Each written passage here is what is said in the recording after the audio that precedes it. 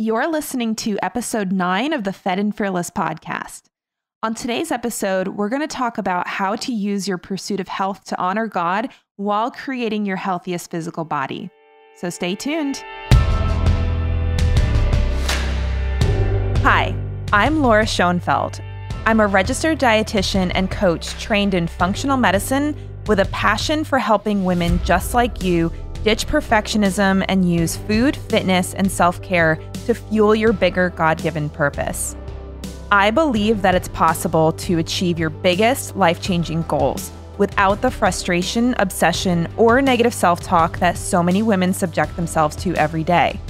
All you need are the right tools, the right mindset, and the faith to turn your dreams into reality. I'm here to guide you along the way.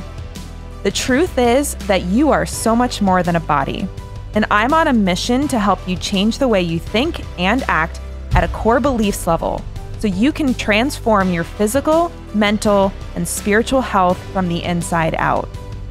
Are you ready to become fed and fearless in your pursuit of a healthy, meaningful life? Welcome to the Fed and Fearless podcast.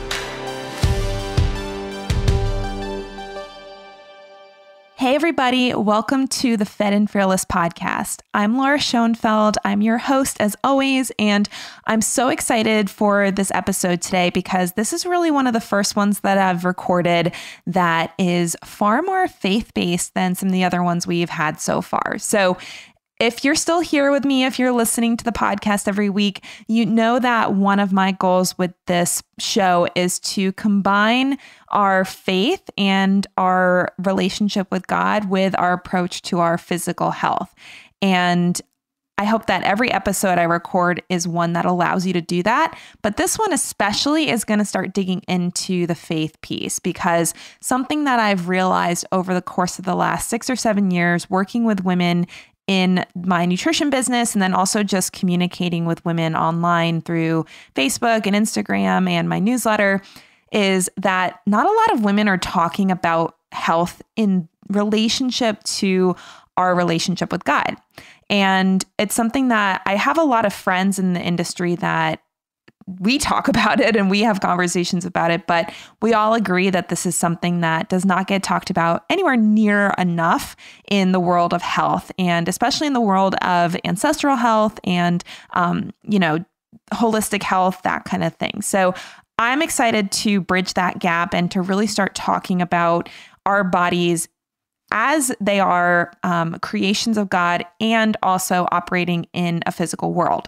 So, that's what really the theme of this whole podcast is. And I'm excited that this episode is going to dive a little bit more into that.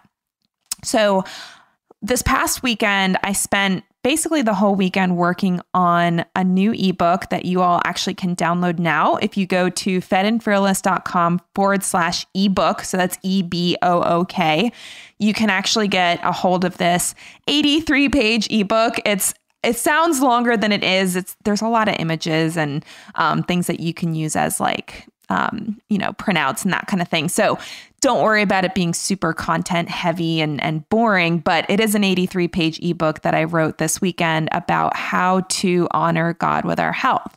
And I wanted to talk about it on the show today because it is such a big deal when it comes to the way we as Christian women approach our health, think about our bodies, and plan our food and fitness routine. And the way that I want to kick this off is talking about the concept of our bodies being a temple. I'm sure that you've heard the phrase, your body's a temple. Um, it's something that's super common and even non Christian people use it as a reason to spend a ton of time on their diet and exercise routine. And the truth is that most Christian women do think that treating their body like a temple is the best way to get physically and spiritually healthy. But viewing your body as a temple could actually hurt you in the long run. Now, I don't want to freak anybody out. I know that the phrase, your body is a temple, is in the Bible. So it's easy to believe that God wants us to treat our bodies like a temple. I get it. But if that were true, wouldn't everyone who spent hours worrying about their diet, planning their meals, and hitting the gym be the most physically and spiritually healthy people? And we all know that that's not the case. In fact, if you keep holding on to this belief, you might not only harm your physical health, but your spiritual health may suffer as well. But Do you want to know how you can actually improve both your physical and spiritual health at the same time? You start treating your body like a home, not a temple. In 1 Corinthians 6:19 it says, "Do you not know that your bodies are temples of the Holy Spirit who is in you, whom you have received from God?" So there it is, right there, right? Your body is a temple. But did you know that the word temple in Greek is also translated as a sanctuary or a divine dwelling place? When the Bible calls our body a temple, it's specifically saying that it is a temple of the Holy Spirit who is in us. God is saying that our bodies are a home for His Spirit and that we should honor God with the way that we take care of our bodies. Because the fact is, your body is God's sacred home. That's what it means to be a temple. I want you to think about the way that you care for your home, your physical home that you live in. Do you think it would be honoring to God if you spent all your time, all your money, and all your resources making your home look beautiful and perfect? Or would it be more honoring to Him to take care of your home within reason? So that way, you can use your home as an opportunity to fulfill the purpose God created you for, whether that's raising your family, connecting with your community, or working on your career. It would also be hard to use your home to honor God if it was falling apart. If the roof was leaking, if the hot water heater was broken, or if there's just junk all over the place. And let me tell you, I know what that means. we just moved into our new house recently, and for a long time, there was stuff everywhere just boxes and um, hardly any furniture. And that was not a place that I felt comfortable bringing people into my home, having community meet there, or, you know, really getting anything done. But the fact is, your home does not need to be spotless and decorated like a scene out of Pinterest in order to use it to serve God's purpose in your life. Your body is the exact same way. Your body is a home for your spirit and the Holy Spirit to live in. Really, it's a vehicle to pursue your purpose.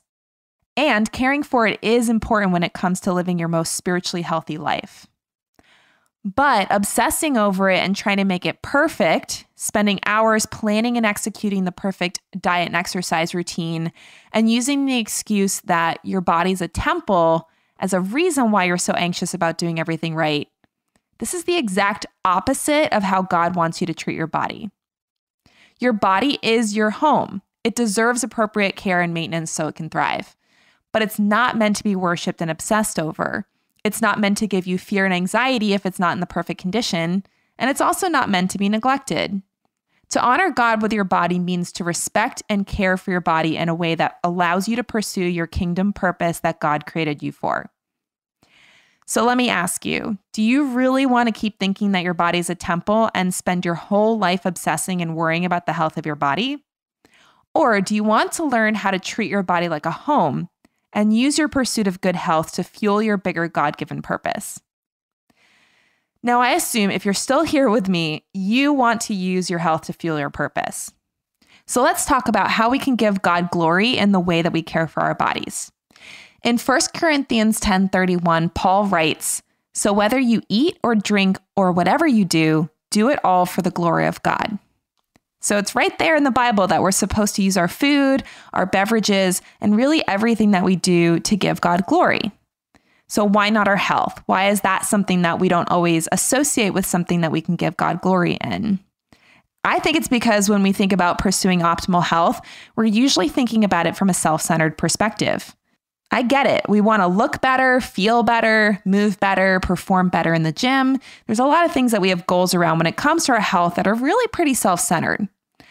But as followers of Jesus, we're commanded to love God with all of our heart, soul, and mind. So, how does the pursuit of good health play into our first and greatest commandment? How do we pursue good health to the glory of God? Listen, I do not pretend to speak for God. His ways are totally higher than my ways. And I'm sure that once my soul is reunited with Him, I'll have a lot of questions about how things operated while I was on earth. But I'm confident that we can pursue health to the glory of God. After all, Paul says it himself in 1 Corinthians 10:31. So whether you eat or drink or whatever you do, do it all for the glory of God. That means the food we eat and the beverages we drink can either be glorifying to God or not. So let's talk about what it means to pursue health for the glory of God. God gets the most glory when we serve and care for others in His name. So, how does caring for your health allow you to do that? I think there are two main ways that caring for your own health affects others. First, when you're in good health, it's far easier to serve others than when you're sick. Now, listen, there is no shame in dealing with any illness, of course. But imagine if every single person on earth was dealing with some kind of significant illness that inhibited their ability to function normally. Who would care for all these people?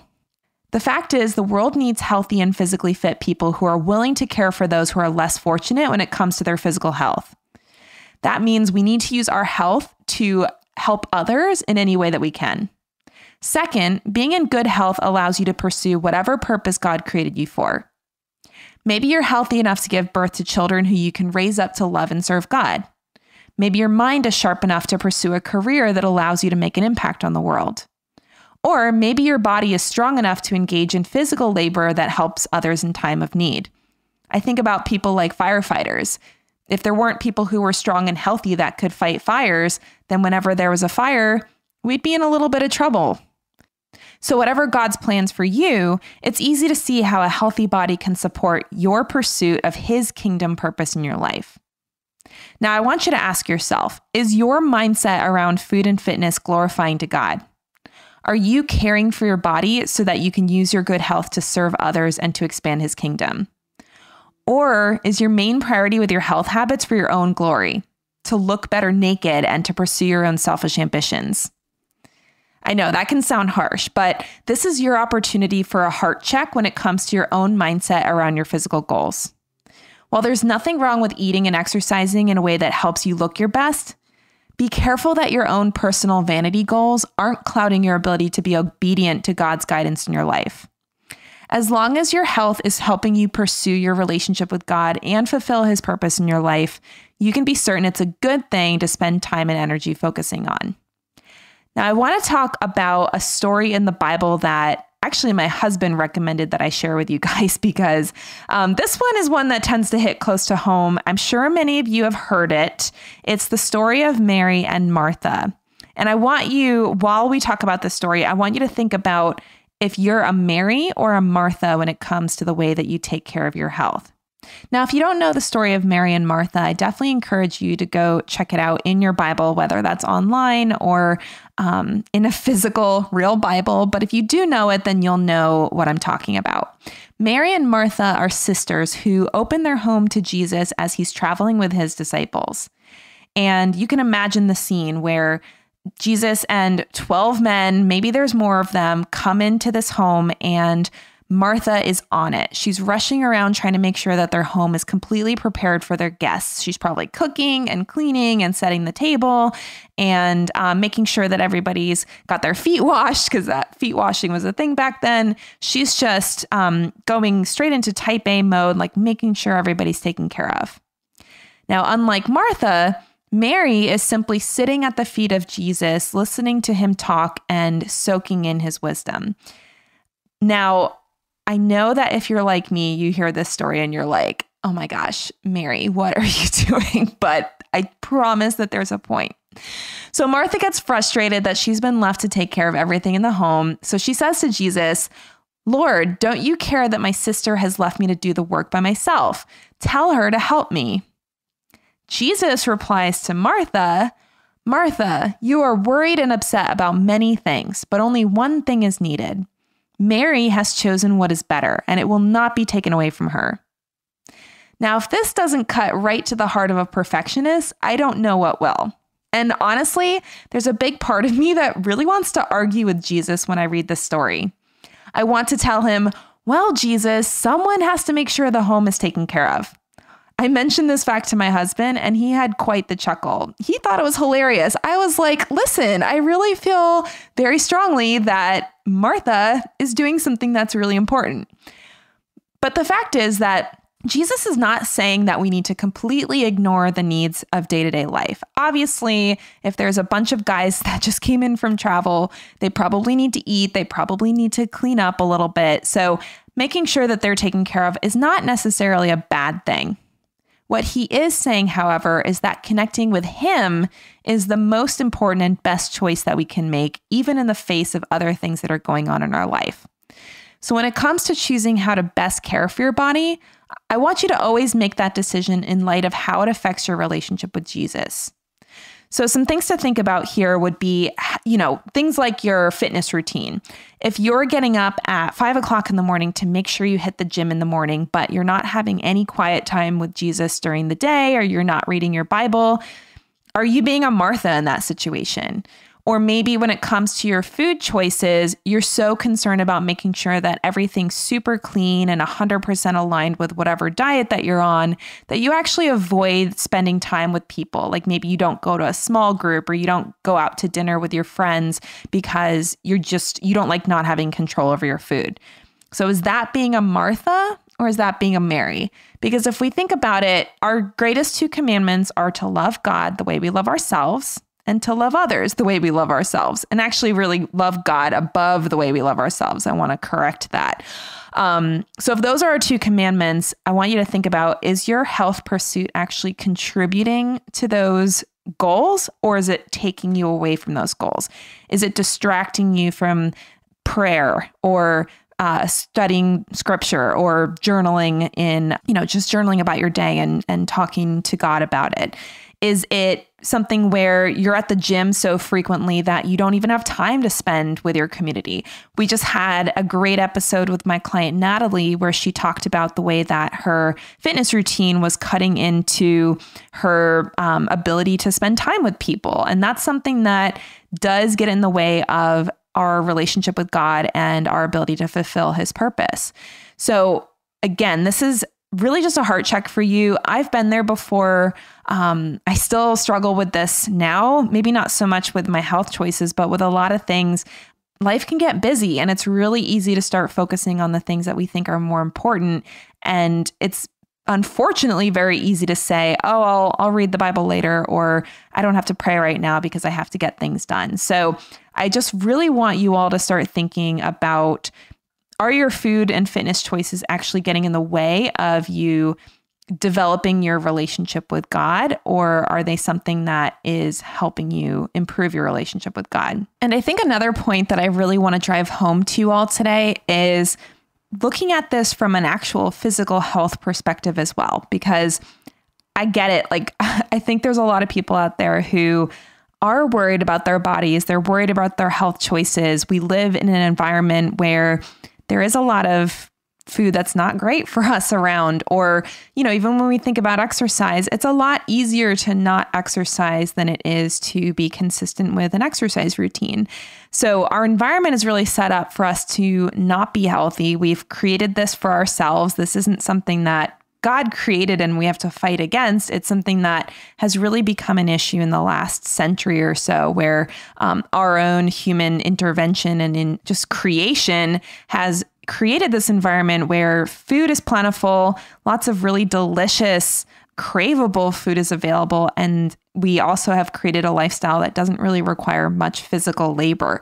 So there is a lot of decisions we have to make about our health. And I understand it can start to feel overwhelming and anxiety inducing when you're trying to make these decisions and there's just a ton of information available on the internet. Um, something that one of my actually business mentors mentioned on his podcast recently, James Wedmore, he said something about how we don't have an information problem pretty much in anything, but he was talking about with business we don't have an information problem. We have an implementation problem. We have a putting it into practice problem. So, something that I see in a lot of the women I work with is that they have so much information available to them to the point where they're really in information overload. And what happens is they try to make decisions about how to take care of their bodies and they're just freaking out. They're like, I don't know what to do. I'm, I want to try this, or should I try that? Or, you know, should I exercise more? Should I exercise less? Should I eat more vegetables, less vegetables? Like, there's so many different decisions we can make when it comes to our health that it can feel exhausting and overwhelming. And it kind of forces us into the state where we're either obsessed with our bodies or we're just completely paralyzed and we stop taking care of our bodies altogether. And whether or not you're a Christian, I'm hope I, I assume at this point, if you're still listening to this episode, that you're a Christian. But whether or not you're a Christian, having that mindset around health is not the best way to achieve good health.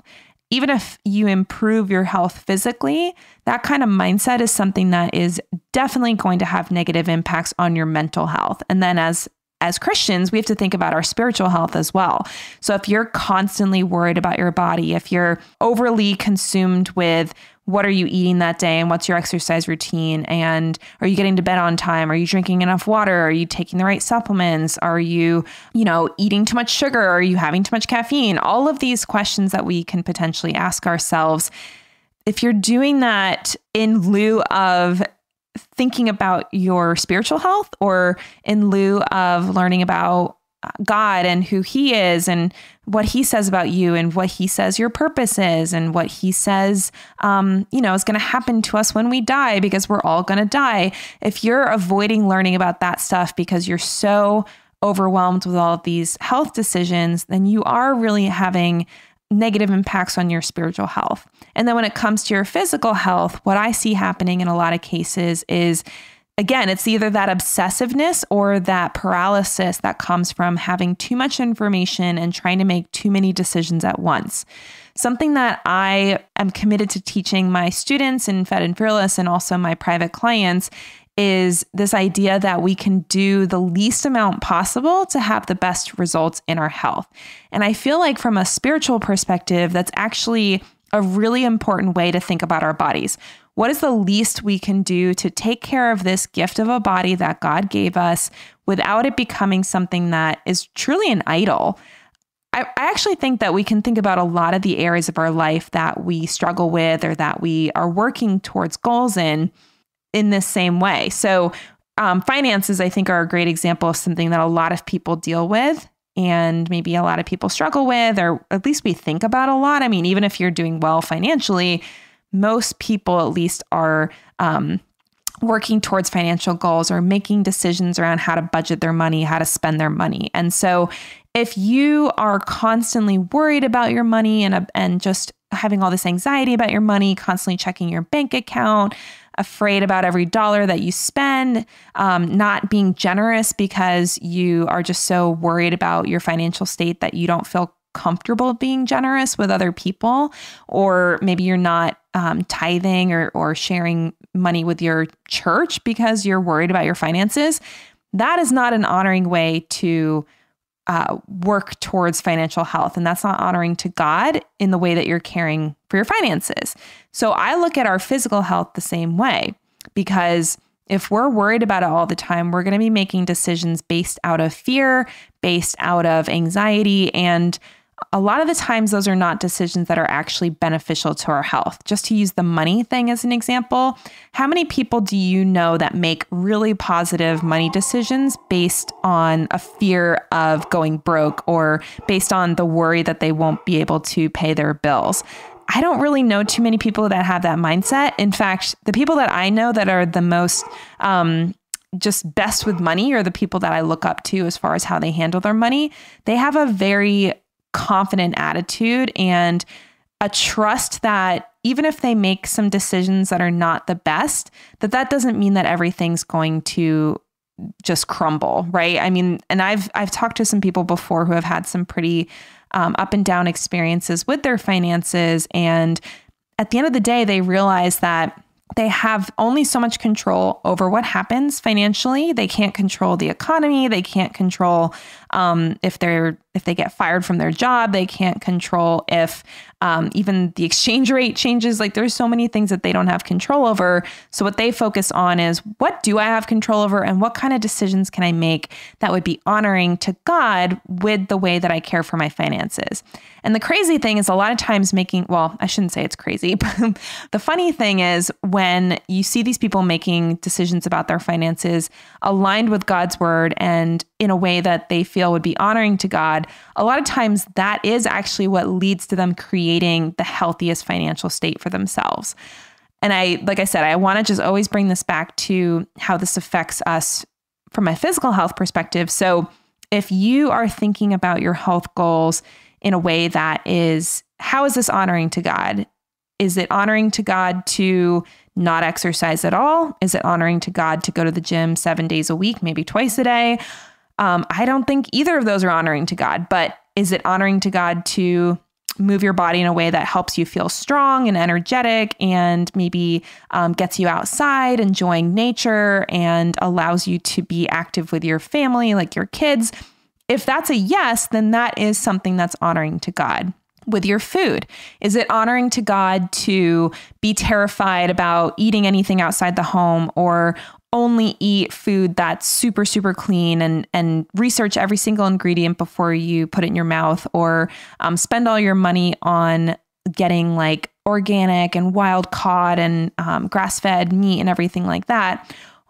Or on the flip side is it honoring to god to eat donuts and cookies and um, taco bell all day? Like if that was your choice for your food would that be honoring the body that God gifted you with. Again, these are both ends of the extreme, but I would argue that neither of those approaches are honoring to God.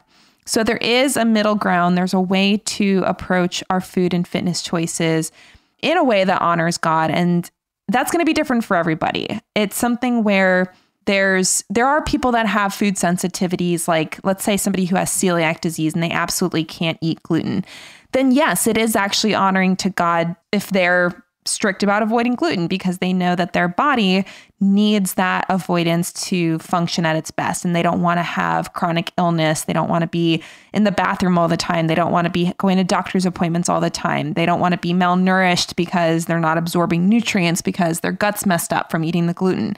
So in that situation 100% gluten avoidance yes that's honoring to god. And um, somebody who needs to make that decision can feel good about that decision on the flip side, somebody who is being super strict gluten free because they read on a blog somewhere that gluten is going to kill us all. And even though they've never had a negative side effect from eating gluten and they have no medical evidence that gluten's a problem for them, they still are just neurotic about avoiding gluten to the point of uh, they won't go to a small group because people don't eat gluten free, or they don't want to um, go out to eat with friends because, again, they don't have control over the menu, or um, they spend all their time researching gluten and researching nutrition and that kind of thing, as opposed to spending time reading the Bible or praying. So, again, it's not that the individual food itself, eating it or avoiding it, is honoring or not honoring to God. It's that our motive for the decision and how much emphasis we put on that decision that affects whether or not it's honoring to God. There's actually an interesting part of the Bible where Paul talks about he's talking about this from more of like a, a spiritual perspective. In the Old Testament, there was a lot of rules about food and kosher law and everything like that. So for context, I'm not obviously a biblical scholar, so I'm not going to tell you all the rules that there were. But as an example, um, you weren't supposed to eat shellfish. You're not supposed to eat pork. You're not supposed to eat food that was sacrificed to an idol that wasn't like something that was blessed by a priest, that kind of thing. So there was a lot of rules about food. Some of them I think were more hygienic rules, but other of them were more um, like rules that were just more for keeping us spiritually healthy. Now, after Jesus came and died and was resurrected, those rules were basically, it says the law was fulfilled. So those rules were no longer something that needed to guide our decision making. We could eat shellfish, we could have a bacon wrap scallop, and that's totally fine from God's perspective.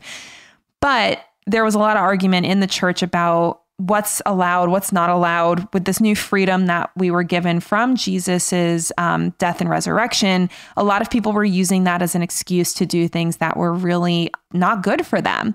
Um, in the part of the Bible that I'm talking about, Paul's really talking more about. Um, I think he's really talking more about um, sexual sin and and like having sex with a lot of people and that kind of thing. But I think we can apply this to our food choices as well because there are certain food choices that if we're doing them excessively, that's not good for us. Or even with exercise, if we're not exercising at all and we're just laying around all day, that's not good for us either. So the part of the Bible that I'm talking about is 1 Corinthians 6:12, and in this section, um, Paul writes, "Everything is permissible for me, but not everything is beneficial. Everything is permissible for me, but I will not be mastered by anything." So again, what what Paul's saying here is that we aren't bound by this law anymore, but that there are certain behaviors that benefit from some discipline and some responsibility and moderation or even abstinence. So, again, everybody's in a different place here. I can think about something like alcohol, where some of us can enjoy smaller amounts of alcohol, and that's not a problem. It's not necessarily bad for our health. It's not something that we're using as an emotional or spiritual crutch. But some people, they really can't have alcohol. They really find that alcohol is not a good thing for them and they choose to abstain from it. So, alcohol is a great example of there being gray area where for some people, drinking is not spiritually healthy, and for others, it's either neutral or it's fine. So, again, these behaviors, even though they're permissible, they're not necessarily beneficial for us to be engaging in either regularly or sometimes we shouldn't be um, engaging in them at all. So I think about things like um, extramarital sex, sleeping around a lot, really not the healthiest thing for us. But having sex within the context of marriage, that is God's design and that is what's healthy for us. So again, there's gray area. Everybody's going to have their own opinion about what's beneficial, what's not. But what we really want to think about is what are your habits when it comes to your health? And are they positively or negatively affecting your health, whether that's your physical health, your spiritual health, your mental health? Because again, avoiding certain foods could be really important for you, or it could be creating a lot of mental um, dysfunction and anxiety and fear and shame and um, just a lot of negative self talk. So, I know there's so much that I could talk about about this, and I want to make sure I'm not going all over the place with this conversation. Um, I just have a lot of thoughts in my head after writing this whole ebook and talking about a lot of this stuff. So, like I said, if you're interested in learning more about this overall topic in general, about the idea of honoring God with your health, definitely check out my brand new ebook. It's literally called Honoring God with Your Health, and you can get it at fedandfearless.com forward slash ebook. And in it, we talk more about um, how to honor God with your health, of course, and how to start trusting God with your health, because a lot of um, a lot of these fear based decisions around our health are made because we don't trust God with our health. We think it's up to us to take care of our bodies 100%, and everything that happens to us is our responsibility. We also talk about how to start developing just self love because I think a lot of women, um, they say they're focused on health, but really they're focused on self improvement or changing who they are or um, trying to be someone that they wish they were, that kind of mindset. We also talk about how to be healthy for God's glory, some of the stuff that we already talked about, but just thinking about how our food and fitness choices can not only improve our physical well being, but also improve our relationship with God. So, um, this has been fun. I am excited to have more conversations about this kind of thing. I think, um, you know, I'd love to hear questions about it. We do have an option of submitting a voice message to me if you're interested if you have a question or you have a topic you want me to cover, I would love to hear from you. And uh, the link to submit a voice message is in the notes for this episode. So go to my website, lauraschoenfeldrd.com, to check it out and check out the show notes for this episode, as well as pretty much any episode that's on the website now will have that link to the voice messages. So, anyway, I I could ramble on about this stuff for a long time. Um, I want to continue the conversation as always online. You can DM me on Instagram to let me know what you think and download that ebook. Take a look at it, read through it, and connect with me um, either, like I said, on Instagram, Facebook, or we have our Fed and Fearless Society free Facebook group. The link to that is in the ebook as well. I'd love for you to come join us and we can chat more about how your faith affects your food and fitness choices and how it affects the way that you care for your body. So anyway, I know that was a lot of information. Um, I I'm definitely going to go into each of these individual areas in more depth in the future. But for now, what I want you to remember is that God loves you, that He created your body to be a vehicle to pursue your purpose. And it is your responsibility to care for your body to the best of your ability. But just don't turn your body into an idol. Don't make your body more important than yourself, who you are, who God called you to be, and definitely don't make it more important than God Himself.